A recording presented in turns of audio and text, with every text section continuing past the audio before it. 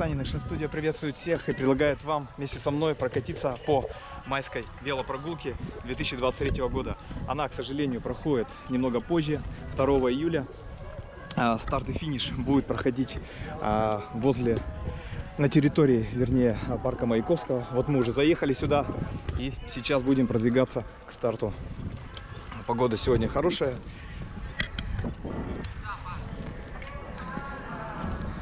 Я заранее зарегистрировался, а, купил билет, э, просят обязательно паспорт, так что а, имейте такой нюанс в виду.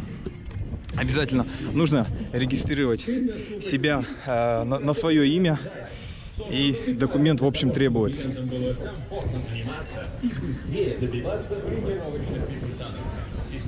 Я приехал к 8 утра, вот в общем-то свободно на входе.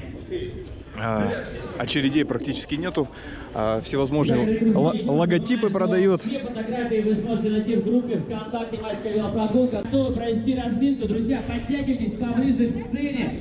Прямо на велосипедах, можно пешком, э, сделаем разминку и отправимся каждый на свой маршрут. Я напоминаю, у нас э, в этом году 4 Давайте послушаем немного. маршрута для вас подготовили организаторы 17 километров, 30, 60 и впервые, впервые на майской велопрогулке маршрут 100 километров. Большая уральская сотня.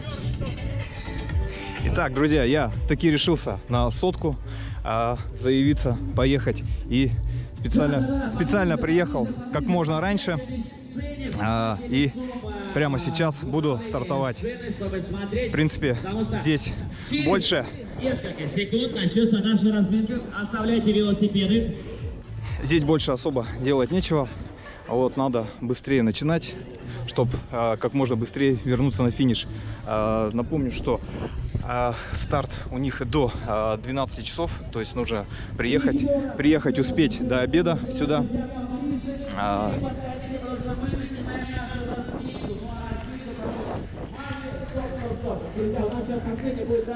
стартуем.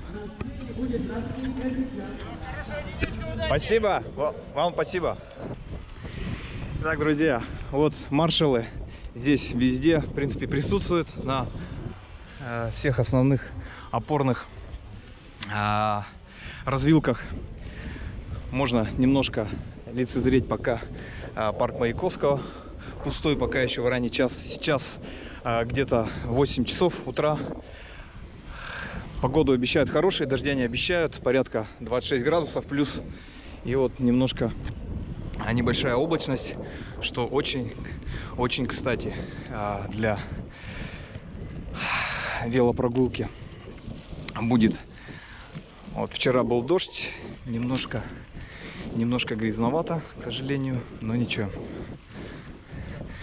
Вот мы выезжаем уже за территорию непосредственно парка Маяковского и начинаем нашу начинаем нашу велосотню. Вот многочисленные ве-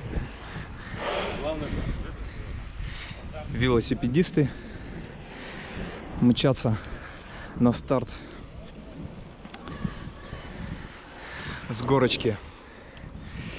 А, скажу, что э, покупал заранее. Все участие, конечно же, платное. А, порядка э, 450 рублей в апреле стоило. Если покупать сейчас, будет дороже. Точно не скажу, но где-то рублей 500 точно будет. Ну и, конечно же, по финишу будет долгожданный а, памятный значок в честь 300-летия Екатеринбурга, который я обязательно продемонстрирую. Итак, погнали на старт.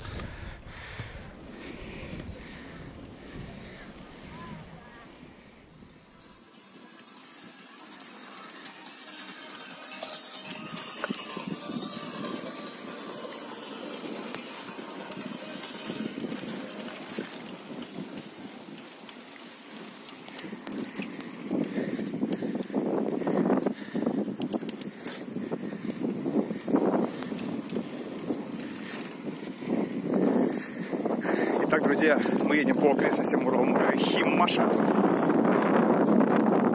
Сейчас где-то будет в районе Арамиля второй КП.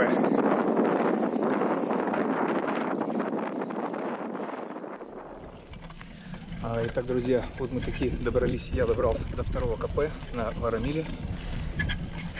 Сейчас делаем отметочку.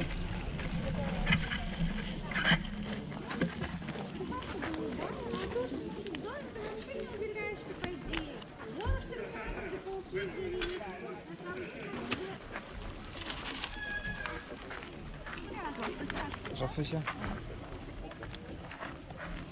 Она, она вообще...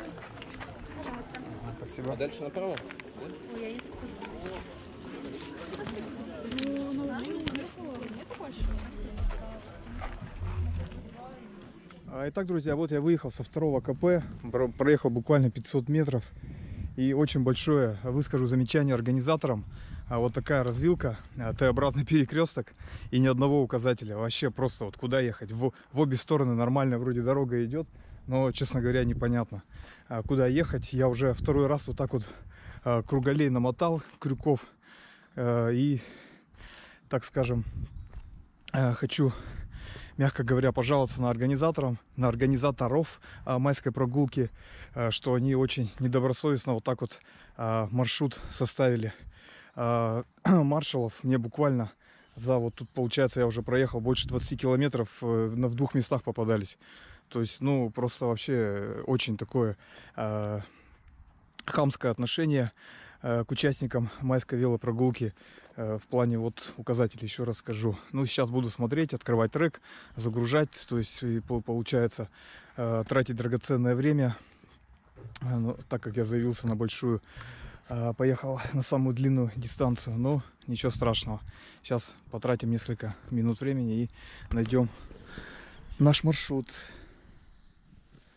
А, итак, друзья, вот я проехал а, уже где-то, наверное, подъезжая к третьему КП. Вот где-то между Арамилем и Сесертью в полях. А, дорога, в принципе, хорошая, ровная, накатанная. Но очень большое замечание, что много подъемов и сильный ветер. Прям вообще тяжело. так скажем, тем более, что с учетом того, что я ехал из Среднеуральска, уже проехал порядка 70 километров и уже ноги, конечно, забиваются, когда в горку едешь. А так, в принципе, в принципе, маршрут нормальный, катабельный, так скажем. А, И очень много кто едет на 100 километров. Вот эта вот дистанция конкретно 100 километров. А, На 60 уже ответвление уехало. И где-то вот э, километров через 5 уже будет третий КП. И там а, я уже полноценно отдохну, попью водички, подкреплюсь. Что ж, поехали. Итак, э, третье КП э, было у нас э, в конном клубе «Белая лошадь». Его не стал снимать, а проехал дальше, не стал тратить время. И сейчас, значит, вот мы э, подъехали к Ольховке. А, Дорога вот эта идет в Арамиль, а вот там чуть дальше э, трасса Н5, которая идет на Челябинск. Вот, э, вот моя карта. А, значит, э, еще сейчас пересечем вот эту дорогу, которая идет в Арамиль. э, И полями э, доедем до Октябрьского поселка, и там будет четвертое КП. Вот, и потом пересечем трассу М5 Челябинск. А, Значит, и поедем где-то через лесопарк Химашевский, через Уктусские горы. А, Вот, и там дальше посмотрим. В общем, полпути уже пройдено, так скажем. Большая часть э, нас ждет впереди.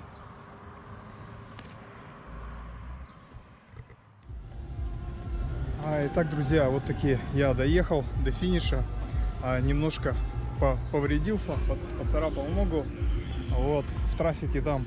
И на финише, конечно же, получил заветный значок. Вот так вот он выглядит. Давайте я вам покажу.